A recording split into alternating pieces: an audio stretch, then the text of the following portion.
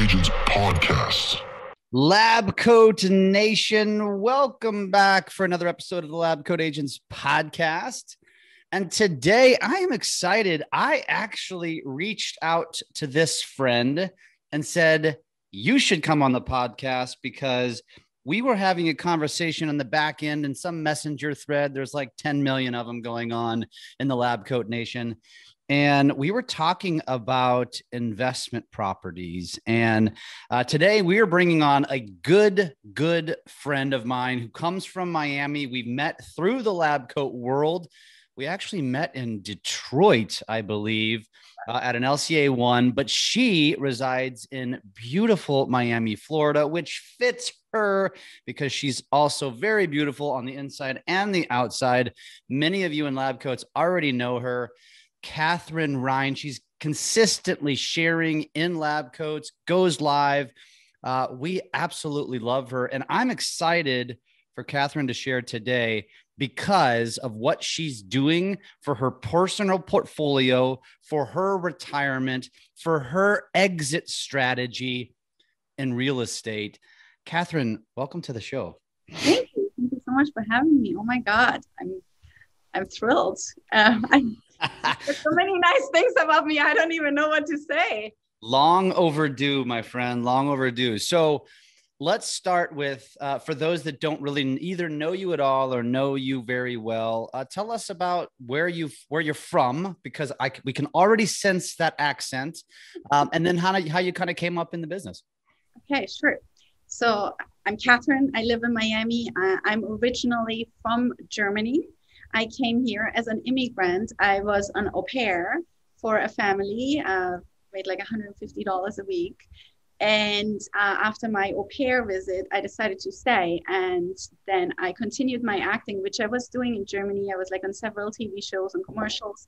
And I started doing stand up comedy. And it was actually really, really fun. It was a big, big passion of mine. And I realized pretty quickly that I'm not going to make the money that I want to make because since I'm little, my goal was always to be financially independent. And um, the goal was if I go into a store and I want to buy something that I want, that I don't have to think about it twice. Because I didn't grow up with a lot, and it was always so hard for me to see my friends having beautiful things, and I just couldn't buy them. So for me, that was uh, financial freedom that I don't have to think twice whether I can afford something or not. So I realized with stand up comedy, I'm not going to get there very quickly. And somehow I stumbled upon real estate. And uh, after I got my first check, I I was, I mean, I was sold.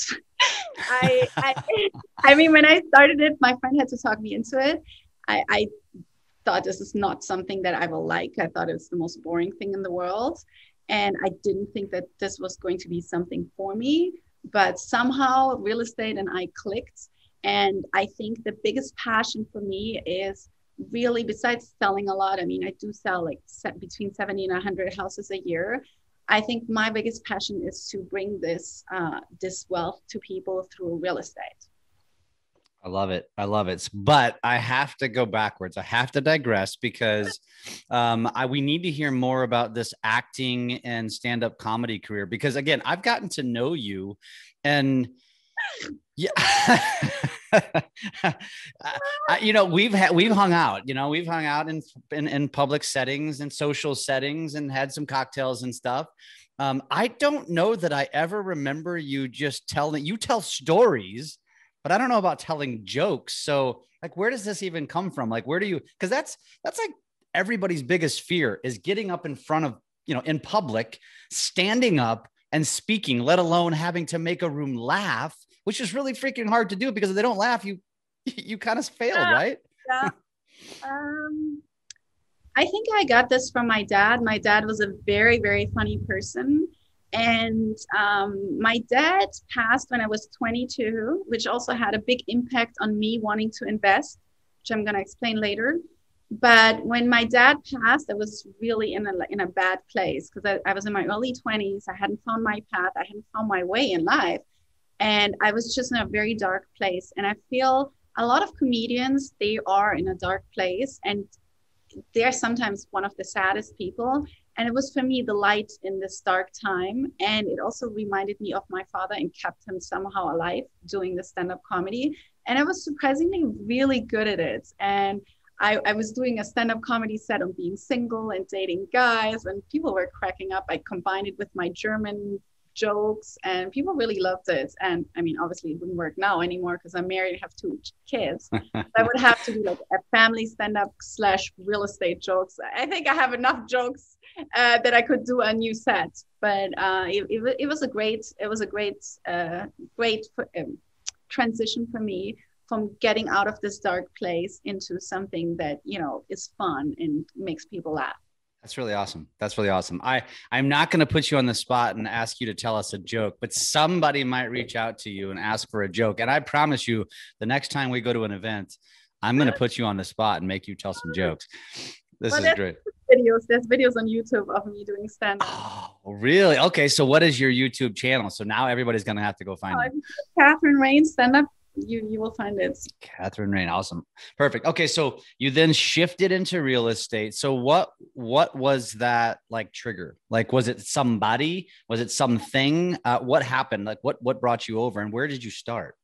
So I had this friend. Uh, he was my realtor when I was renting, and he showed us like three apartments. We rented one. Then the year later, he sh- again we moved and then he said to me at some point, he's like, Kathrin, why don't you try to be in real estate? I think you would be really good at it. You're so smart and so quick. I think this might be totally up your alley. And we're still friends. And I tell him all the time, look, every podcast I do, every interview I do, I mention you because you were the reason I started this. I would have never, I mean, I, am from Germany. In Germany, real estate people are like known as like sleazy, used uh, car salespeople. Really? And uh, it's it, the profession doesn't have like a really good, uh, you know, reputation. People gotcha. don't like it. So um, somebody actually pushed me into it, and then it took me almost a year to hang my license. And I, I was really not somebody that was like, oh yay, I'm gonna start in real estate. It was just something that okay, let's try it. And if nothing else to do, I was home with my son. He was a baby back then. It was over 10 years ago and I was a stay-home mom, and I just did it. And somehow, real estate and I we clicked. I love it. I love it. And so, did you start on a team, or did you just start on your own from day one? So back then, the team thing wasn't really a thing. There was a few teams in my office, but weirdly enough, nobody ever approached me. So I don't know. Nobody ever asked me. I would have loved to be on a team in the beginning because I didn't know anything. I was working with that guy, Fred.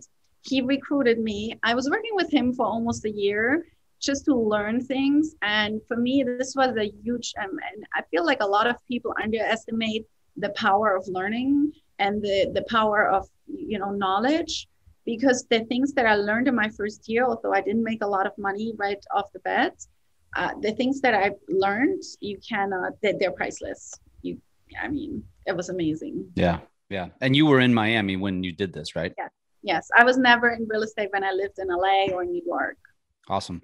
Okay. So when you started then, and this is really talking to either A, the newer agents, or B, uh, like maybe the team leads who would have a newer agent, what was it, you know, what was your, what was your strategy? What was your trick? What got you into selling homes or, or was it buyers? What did you do?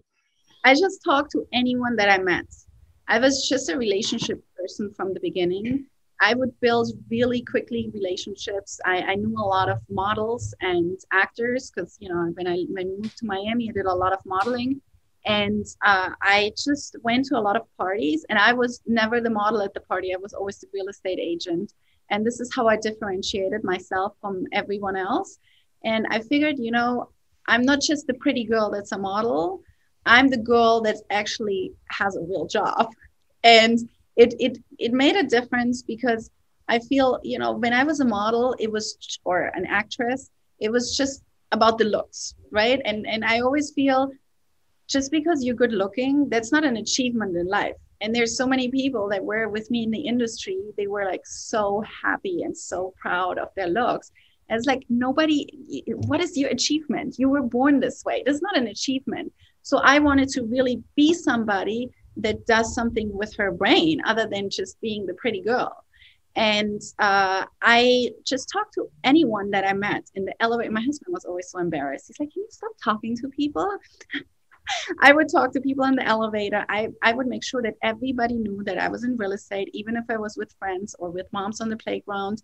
I would do it subtle, but I would always make sure that they know I'm a realtor because I didn't want to be the person that then later I found out that they bought a house with someone else. And uh, and I somehow it it worked. Uh, when I would ride in the elevator, what I would always do, I would like bring um, a pile of flyers, always have my flyers in the elevator so people would like start talking to me too, and I would smile at them. They would give me their business card. I met people like in my old office, we had a UBS in the building. I met so many people from UBS just because I was always there with my flyers. So I would always start conversations with people. And I think that is one of the number one things that has really helped me in my career is just to build deep relationships with people. I love that. It's and it's so simple um, especially for somebody who's new or again somebody who's mentoring someone to leverage your past life essentially uh, whether whether you're coming out of college and you're leveraging your you know your college friends and your high school friends or you changed careers because that's like a, a blank canvas of potential opportunity and people who know you and already trust you and like you because you're one of them right and I think uh, I didn't know anyone in Miami. That was the other thing. I had just moved to Miami. I was new to the city. I didn't know anyone.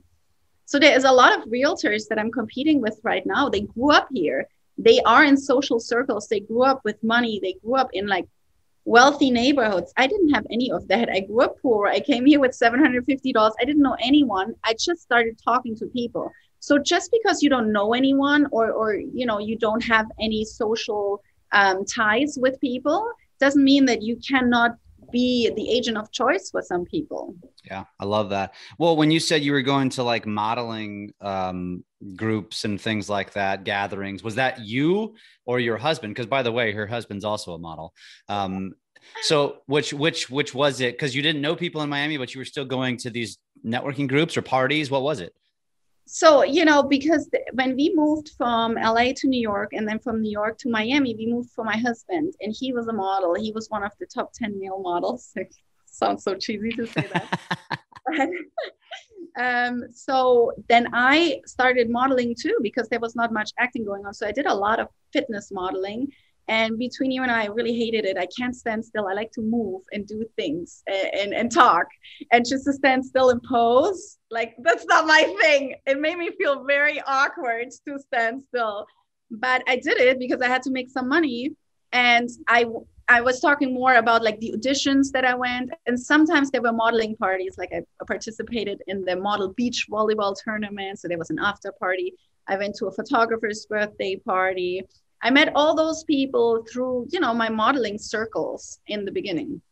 I love it. I love it. It's it's it's a simplistic approach, but yet powerful. And um, if if you're if you're going to become a real estate agent and try to hide uh, behind doors, you're not probably going to have a lot of success. I mean, this is a this is a networking and people business, and you've you've got to figure out how to get out there.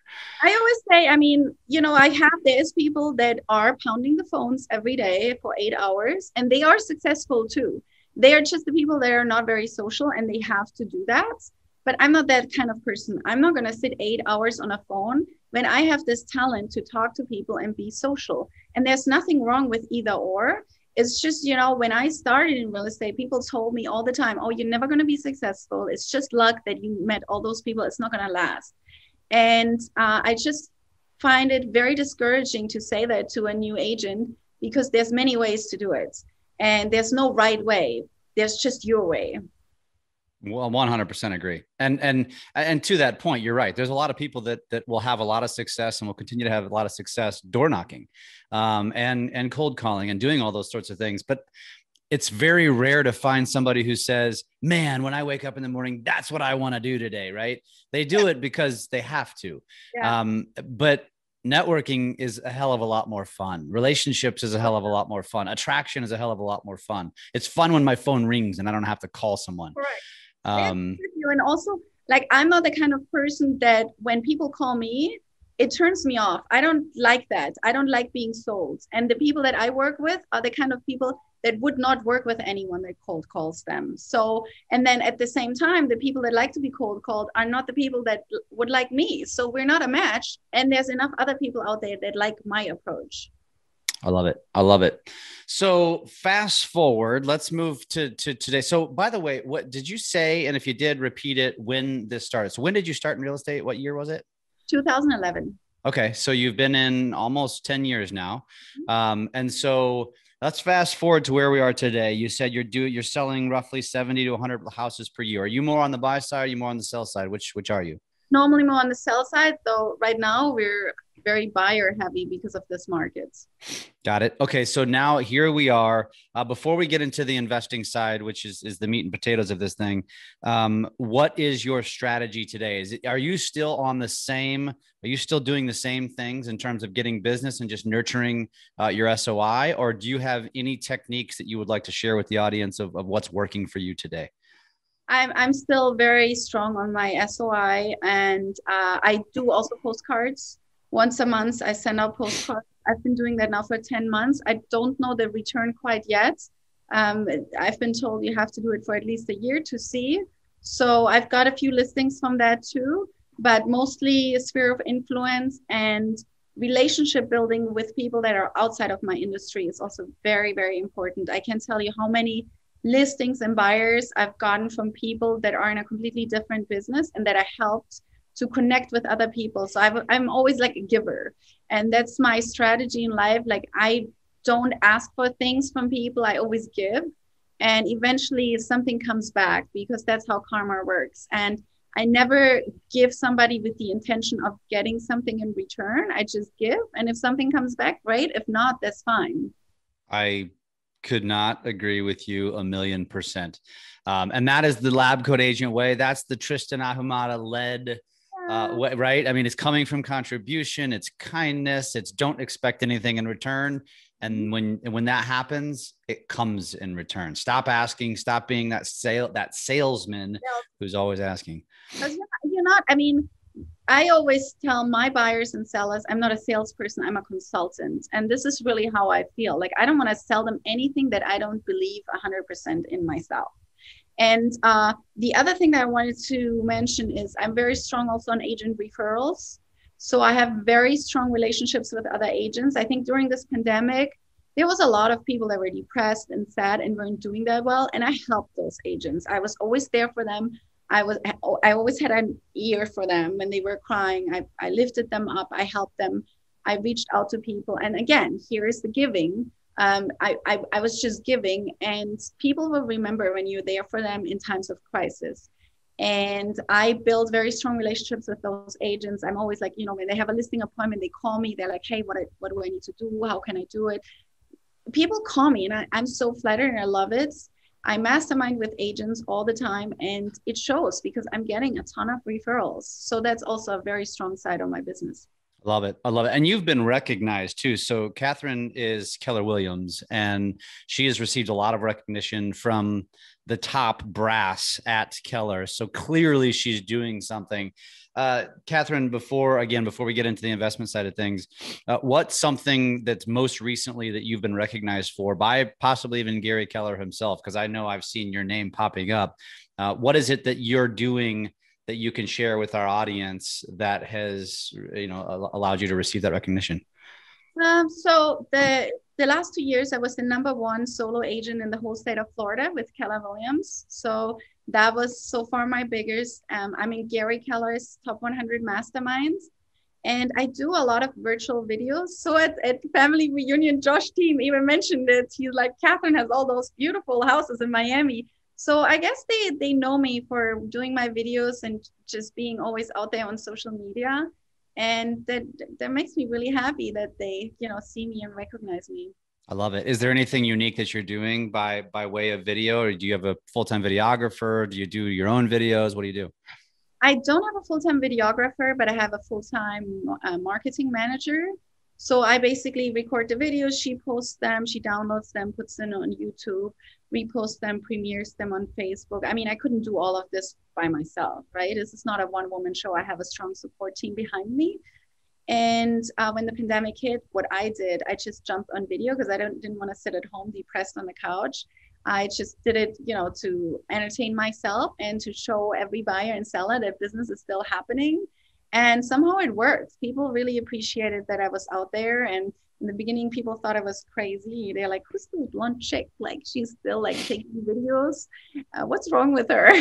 But it was all vacant houses and it was fun. And i had on some of my videos 5000 views. So it really changed the whole perspective of uh, open houses because why do you need to do a, a real open house if you can do it virtual and have more views And then I got super efficient also with my buyer and seller consultations. So everybody that wants to work with me, they have to do a Zoom consultation with me first because I'm not going to anybody's house unless they're committed. And that has saved me so much time. So I had I didn't see the results like right away, right away. But now four months into having, well, I've, I've been doing those consultations since March, but now I also hired a showing agent that does all the showings for me. And it's now four months into it. And we're six weeks into the year, and I already have half of my goal reached this year. So Ooh. it's been paying off. Yeah. That is insanity. That's awesome. I am uh, so proud of you. You, uh, you are a, a, great person that people should be following and and like like you said i mean just just just putting yourself out there you get more eyeballs because you put yourself out there because you put yourself in front of a video camera and you're not doing anything that's that's not attainable that's not duplicatable that's not something that can be emulated. And this is what i tell people all the time. It's like when you're trying to figure out what should i do what kind of strategy should i implement i say go go follow three to five people on social media that you enjoy and then emulate and then make it your own and um, you are a, you are one of those people that I highly recommend people go follow. You do have one advantage that being in a Miami market, but that doesn't mean that's not the reason. You're just you're just using what you have, mm-hmm. and and and and making you know again making use of it. But everybody has some sort of advantage in their market, and you just need to find it and use it so for, for, for me it was always okay perfection is overrated. A lot of people are like waiting for the right moment. They're watching video after video to prepare and they never do anything. So you really need to do something. And then the second thing is you need to be different. Because if you're just like everybody else why would somebody want to work with you? And i know i'm different because i'm a little bit crazy. I'm not salesy. I'm i'm, I'm a fun person. And i know that. And i try to bring that into my videos so people see they're not working with someone that's boring or someone that's a pain to work with because you know you're going to be with those people for three four months.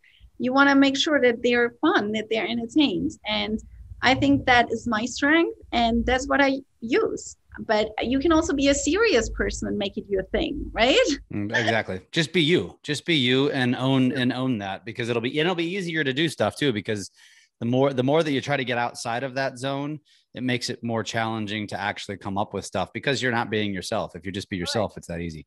I love it. So now here we are and and you have achieved some amazing success. And then all of a sudden you're sitting there one day thinking to yourself I need to create some passive income. I need to rec- uh, create some potential retirement income. I need to create something that doesn't force me to have to sell real estate for the rest of my life. And okay, so how did this start? And I know that you own some some homes in Miami, but you also own some homes in the mountains, uh, which there's no mountains in Miami, folks. So uh, how did this get started? Where did you start? So it, it started when I was very young. Uh, we moved into a house when I was five and we moved out when I was 19. So we lived in that house for 14, 15 years. And it was a brand new house when we moved in. And we rented it. And when we moved out, the house was paid off. So we paid that guy's house off, and it was worth three times more than when we had moved in. And we moved out and we had nothing. And I just thought to myself, how stupid is that? So that was the first thing because my parents they my, my mother was a secretary so she didn't make a lot she made like $800 a month. My father though he was an engineer his entire life. He always saved money always had three pair of pants three pair of shoes like put all the money aside but didn't have anything. So that was something where i thought to myself at age 19 whatever i do in life i never want to be in this position so then number two, when my father passed when I was 22, and my father was an engineer, you would think that he has wealth, that he has provided for his family. And for my dad, it was always very important that we were we girls, because my sister and I were his first children, and then he had a third child with another wife. His priority was always that we were taken care of. Yet when he passed, all I got was a few thousand dollars. So that was number two, where I thought to myself, my dad always cared so much about us, yet he did not plan correctly. And I don't ever want to put my family in this position because I was 22. I had bills to pay. I, you know, was depressed for a while because I lost my father. It was just a really dark time in my life. And I knew I wanted to do things different. So I bought my first house in 2012 and it was a small house for $300,000. We saved every penny because we had to put like $75,000 down because we were immigrants. You don't get a loan so easily when you are not an American citizen. So we bought that. We sold it three, four years later for 430-ish. So we made a nice profit. We, we bought the next one. And from then on, almost every house that I bought, I kept. I sold a few. I sold a few. Um, I sold them only when the when the return was not great or when the house was like older and needed in the future more repairs and it was just not a viable investment. So now I have eight properties and I want to get to 15 in the next two years. Okay, where are the eight currently? So I have five in Miami and three in the mountains of Georgia and they are a very mixed portfolio. So I have a, one my my primary, which is my my biggest asset. Um, I want to mention that my my house now I have a big house now. It's a five bedroom, three thousand square feet. Well, for some people listening, probably that's not big. For Miami, that's quite big. Uh, and I did not move into this house until I already owned five houses. So I lived on very on a very uh, modest budget with my primary house until I had several investments. I see a lot of people that buy with me houses that buy houses twice as big as mine or twice as expensive as mine, yet they don't have any investments. And it's a little bit shocking for me sometimes, but then again, this is their choice, right? Uh, I always felt like I needed first to earn the rights to own a bigger house. So the house that I had before, and b- back then I had two children, I lived on 1,200 square foot. My son was nine, and my daughter was um, three. And we lived in a small house. So that house we then sold. So, okay, one is my primary it's it's my biggest asset that one we bought the cheapest house on the block there was only houses two three four million dollars uh, we bought it under a million dollars, put a little bit of money into it, and it's now worth double two years later. Nice. Um, then we have a little condo in South Beach. That one I paid off in full a few years ago. We bought that with seller financing because the guy offered it to us and we didn't have any closing costs. So it was very convenient for us. That one I bought with the intention because it sits, it's in a really nice area and it's a condo there's only 41 units on a three quarter of an acre piece of land. And I bought this with the intention that we're going to get bought out in the future for redevelopment. Then I have a commercial space, which is, this is my best asset. That one we bought for 480 and it's rented at 6,500 a month. So wow. that rented to a bicycle store. I also have an offer from Starbucks to rent it for almost double. But I really like my tenant and I can't kick him out. You know, I don't want to kick him out. will Starbucks wait for you? I mean, maybe, maybe, I mean, it sits on a on a on an intersection of two main streets, and it's a storefront uh, space. So that one we bought. It hit the markets. I knew it was underpriced. The listing agent didn't know what he was doing. And we needed to move quick because they had cash offers and I didn't have the cash. So we put in a cash offer and took a hard money loan and we refinanced it four months later and appraised for 50% more. Yeah. And wow. Raised the rent with the bicycle store, and now it can probably sell for like triple. Yeah, and that's three years later. That's amazing, and and I bet I bet Starbucks is willing to do a long. I mean, don't most of those kind of tenants do really long term leases? Yeah, this guy did six years, uh, but he has a renewal clause. But it's, it's have you have you have you? The, the guy is a really good tenant. I, I, get it. I get it. I, the only reason I asked is because we were looking at buying um, a building for Taco Bell's once, and Taco Bell wanted to. They wanted to do 15 and 20 year leases, and it was like, wow, that's really solid. Like you can't beat that. No, that's solid, and you get an increase every year. And then it's a triple net lease. He pays for well, no, it's a double net lease. He pays for insurance. He pays for all the maintenance, but I pay for the taxes and the HOA fee because it's in a small boutique uh, condo building. Wow, that's cool. Okay, carry on. So that's, that's three. It. Then this one where I'm sitting, that's my office. Unfortunately, it's not really cash flowing, although I pay rent to my husband's company for tax reasons. Um, we bought this with the intent to rent it out, but then I had to put my foot down and told my husband, I need an office and I absolutely love it and need it. And then we have. So that's a, that's a commercial space, right? That's also commercial space. It's storefront. Let me let me turn. I can see the cars going by in the uh, in the in the reflection. Oh, you do. Okay. Mm-hmm. So this is my office, and I, have seen enough of your videos that I've, I I pretty much could. Well, I know your office pretty well. okay, good. so that's my office. It's uh, and then we own also a new construction home that we we have partial ownership in in Miami Beach that I have right now for sale. So that was an opportunity that a developer gave me a listing and he said, hey, listen, uh, do you also want to invest? And we put uh, a substantial amount towards the house. So I'm not just getting my commission, I'm also getting some profit on that. So those are the Miami investments. Now, then this past year, I went on vacation to Georgia in the mountains because we come from the mountains. We're from Bavaria. So we missed the mountains. It was the pandemic and I really needed to get out and I was sitting there at this beautiful house that we booked last minute. It was the only one that was still available. It was 350 a night, so it was expensive. And I sit on the terrace. It was my birthday. I sit in the sun. I pull up my phone and I look on the Keller Williams app how much the houses in the area are. And I almost dropped my phone because the houses they were like between 150 and 400,000. This is not my you're not in Miami anymore, Kathrin. Miami. And I'm like? I, and, and I I knew in that moment because I'm really good with math. I knew in that moment that I had hit a gold mine, and uh, I think what two two two months later we bought the first house. Then two months later we bought another, and we just recently bought a third one. So I went like boom, boom, boom, boom. I I, re- I remember this because you were you were sharing you were posting pictures in our Facebook group, um, and then you were talking about this. I watched this go down, and I was like, "Damn, this is amazing." Uh, so. Yeah. Uh, so tell us like what the metrics are here because obviously buying in your market's one thing and you've kind of got a mishmash in Miami but when it comes to buying in a market that's outside of yours like what were you and so first things first this mm-hmm. isn't always the case but you looked at those prices compared to where you lived and you were floored. This is the this is what a californian goes through when they buy outside of california. It's like holy crap how i can buy this massive house for nothing. Um yeah.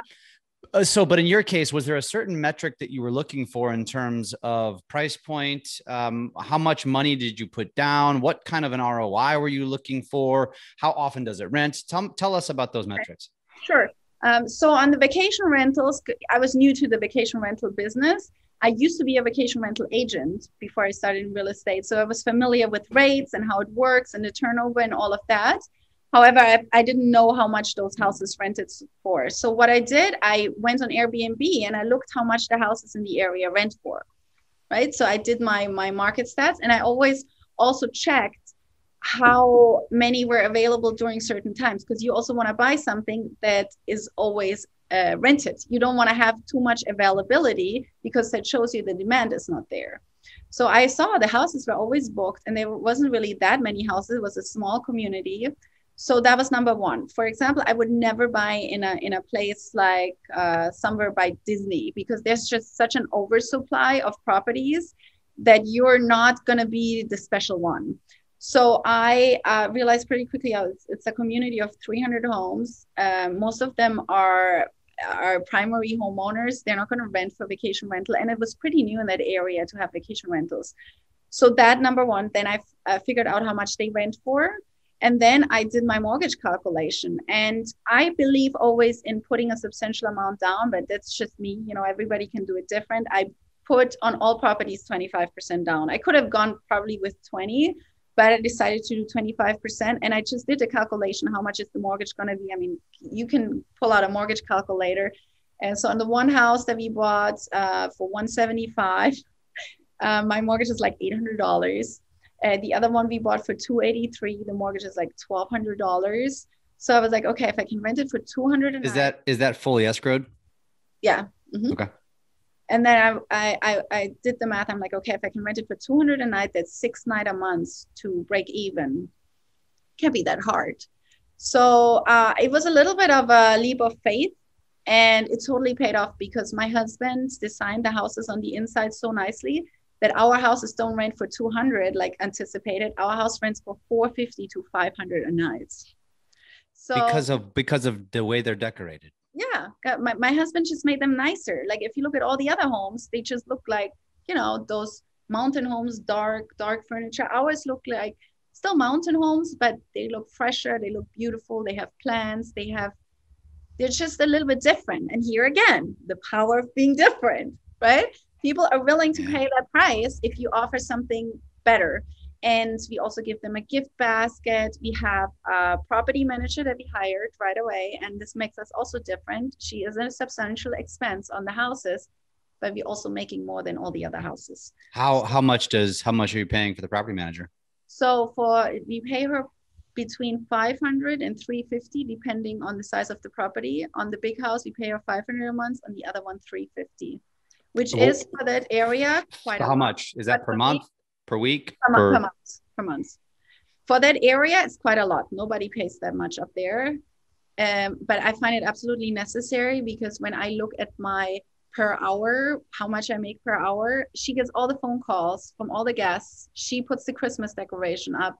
She comes when a light bulb burns out. When the electric is out, she brings them candles. She does all this kind of stuff. If I would have to take all those phone calls, I no, well, that's so what what uh, what percentage does that equate to? Because usually when you're thinking of vacation rentals and management, you're thinking like they take 20, 30, 40%. Um, do you know what that percentage is? Because this is that's this is unique by comparison. Like if you go to the panhandle in Florida, let's stay in Florida, for example, which is a very common second home, second condo area, you hire a, a management company and you're paying them a percentage of the rent. I have that too. I have okay. that. I have a company uh, they are called Evolve Vacation Rentals. They take 10% and they are in charge of getting me the bookings. So they do the advertising, they do the contract, I have insurance with them. Uh, it's totally worth it because they get me the bookings and it's only 10%. It's really not that much. However, they don't do the housekeeping, they don't do the cleaning, they charge for it. Um, and give me then the charge, but they're not doing any of that. they they manage it, but they don't they don't do it. So there, that's just an extra cost on top of the 10%. But 10% is nothing. nothing. I yeah. mean, they just manage the bookings, but they don't manage the actual house, but they put up the pictures and all, all that kind of stuff. So the, yes, we do have quite some expenses. But um, when I tell you between October and mid January, our income on two houses, gross income was 50 grand. Say that again 50 grand. No, between how long? Between October and mid January. So it was three months. We had 50 grand in income. On on how many properties? Two. Two. The third one we just bought and we're renovating it. The third one is going to rent for like five to 600 a night because we're turning it into a five bedroom. It's going to be really nice. I'm guessing that you're not going to tell our audience where this is in Georgia because you don't want to. well, there's nothing for sale because I've you know, I've told quite a few people about it, and there's right now nothing for sale. I think I could right now resell all the properties for at least a hundred thousand more. Because the market, because I bought it right when the pandemic hit. Yeah. And uh, it, you know, people were still scared to buy, and especially on the countryside, people don't know how this is going to play out. And the third house, especially, we got to steal because I told my property manager, look, if you find us a great house, we're going to give you a little bonus. Find us something off market. And she found us this house that needed a lot of repair. And it was in a condition where it couldn't be financed. So it had to be a cash deal. So I bought the house. They offered it to us for 180. I bought it for 160. I put now 40,000 into it and it's already worth 450. Oh my God. So I'm not reselling it, but I, you know what? I, I probably won't. I'm just probably going to rent it out vacation rental. So Um, would yeah. you would you say that part of your success here is um, going somewhere that not a ton of people were going, as you said, almost like seeking out a new area and then kind of mm, you know you almost single-handedly turned it into a vacation rental area it sounds like well there was some vacation rentals before but it was not to that level i feel like we were the first ones that did it like really professional there is a, a, a person that i met the guy the guy actually that i stayed at his house i looked him up on the tax record and I figured out he lives in Fort Lauderdale. So I called him up. I'm like, hey, tell me a little bit about it. And he's calling me now for advice. And he's been doing this for years. He has actually more houses than me. And he's he's surprised that we're so successful. He said he didn't make any money the first year. I mean, he broke even barely.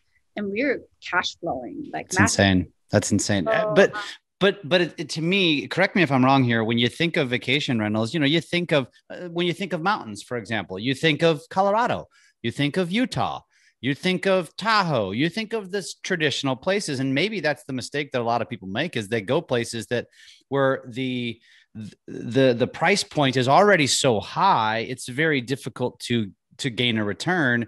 But if you go find these areas that are kind of like diamonds in the rough potentially, and there's probably thousands of these opportunities out there those areas i mean there's not just one area people are like where is it where is it i want to buy there too i'm like you can find another area like this. You just need to go somewhere where it's family friendly. I mean, this place has a public golf course. It has mountain tubing, has zip lining, has beautiful waterfalls, shopping close by, restaurants. You just need to find a place where people can rest and be in nature. I even made a video about the area. I mean, the first thing for me was I fell in love with the area. I really love the area. I'm passionate about the area and i i knew if i was going if i was gonna like it other people will love it too and whenever i post those videos people always want to come to my vacation rentals so that's amazing. And, and so th- that's another thing. So a she found an area that she wanted to go to and then kind of you know figured out that there was opportunity there.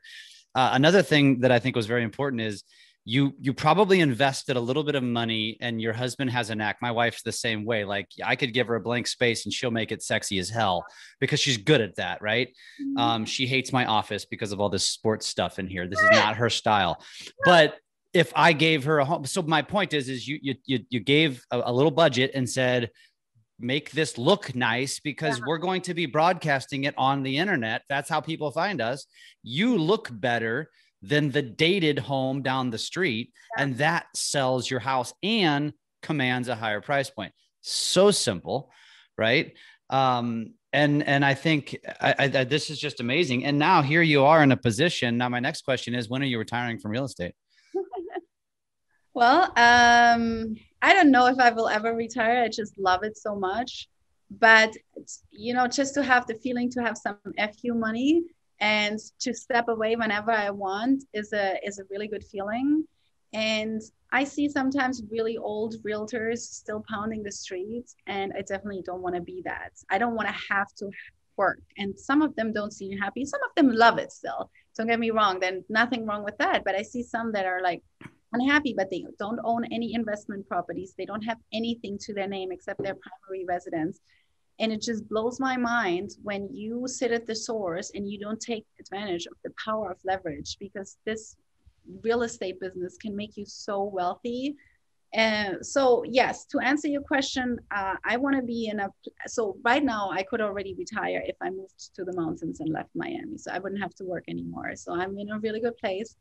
But if I was to stay in Miami, I probably have to work two to three more years to, to achieve the same but I don't think I will retire in three years. Let's put it. And and how many and how you want to you, you're at eight. You want to buy. You want to have seven more by when? By how many years? Uh, in two years. So two years. I want to get this year at least three to four properties. So the way I see it is okay. So when you pound the streets, and I call it pound the streets because you know it's a lot of work in real estate, and you pound the streets.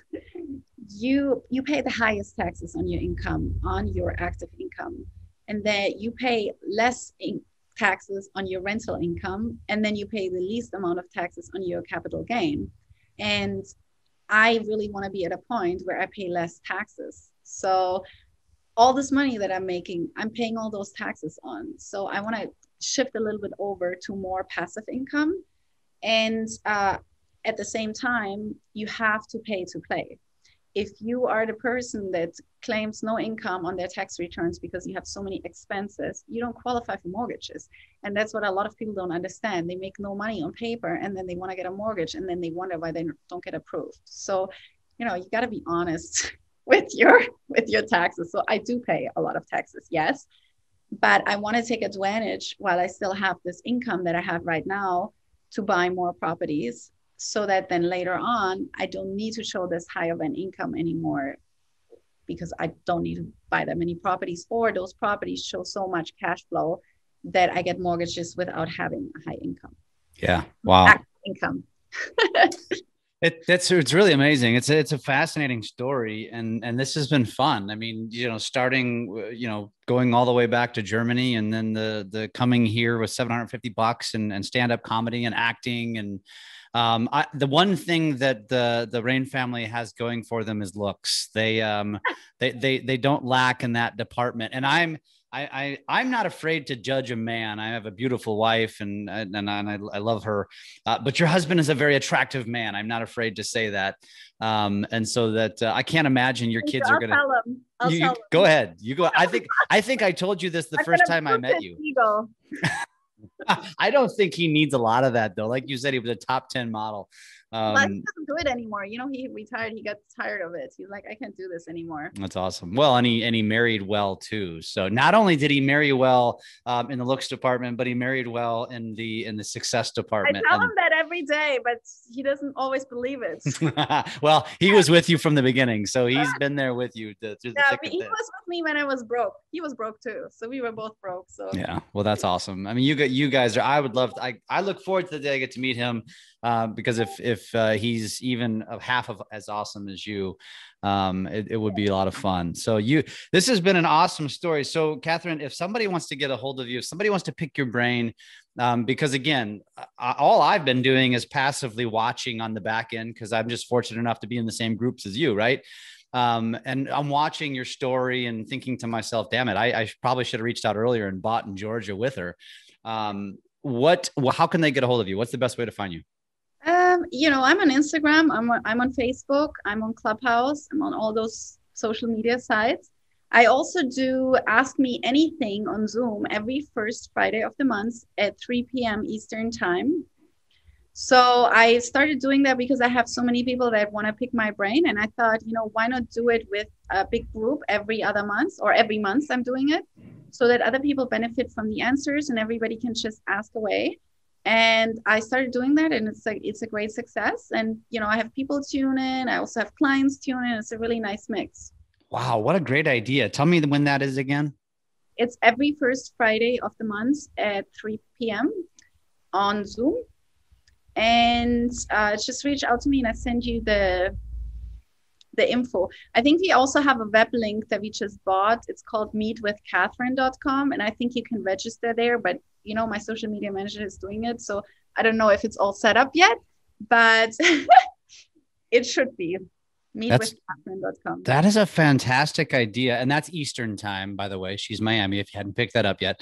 Um, as an agent, this is just one last little nugget that I didn't even realize. What a great idea! Because not only my guess is is you're probably having real estate conversations with potential clients, which is brilliant uh, because you're staying top of mind. It gives them the opportunity to come talk to you, and it probably gets you connected to agents all over the country, which then feeds back to the referral thing. That's really freaking smart. Did you come up with this idea? somebody uh no somebody no i have to give credit to somebody else i forgot who told me because i spoke to one of the top agents and i said you know time is really my most valuable asset and i'm a person that likes to give i like to help others but it really cut into my time when i was meeting with agents all the time and people want like i had three meetings a week with people mm-hmm. and it was just you know cutting into my production and i also didn't want to turn them away so i thought what would be a better way to meet with people and most of the people always ask the same questions. So I thought, you know, if we can put them all together in one group and make it like a little networking event, it might be really beneficial. Do you uh, promote this? Do that. I just started telling people about it um, because I have people reach out to me all the time from lab coats, people from you know that see me on podcasts or that, that see me on stage on events. They always ask, and then I refer them to that. That is so awesome. How many people do you get on average per call? Is it as is it as few as one or two, and as many sometimes as two, sometimes ten. It really depends. Uh, it depends how how often I put it out there. I think the next time I do it, I'll put it on lab coat agents just to you know to, to, to be careful what you wish for. what, I wish for, right? Yeah. But I also want to encourage other people to do that because it's really a nice way to give back to people. Because when I started, I had a lot of people that mentored me, and still I have a lot of people that help me and mentor me. There are so many agents out there that are so much better than me. And I'm never shy to ask for advice. And let me tell you, those people that are top producers and top agents, they're always willing to share. 100%. So uh, don't be shy to ask. That's right. I, I say that all the, that's a great way to end this. Uh, you and I hang out in the same circles, so we know it better than anybody all of these people we're hanging out with, some of them millionaires. We probably hang out with billionaires in our circles. I know I do, and I'm sure you do too. Um, they're all willing to share. And so just don't be afraid to ask. The worst thing that's going to happen is they're going to ghost you. Uh, yes. there's, there's nothing wrong with that. So just, uh, so don't be afraid to ask to make yourself better. Kathrin, this has been awesome. It's been great to catch up. It's great to see you uh, since yeah. since we don't get to do this kind of stuff much anymore. This has been great. Thank you for sharing. And I have a feeling uh, after this podcast airs, you're probably going to get a few more people uh, on the Ask Me Anything, the meet the meet with Kathrin. So awesome! Look forward to it. Love it. Thank you so much for having me.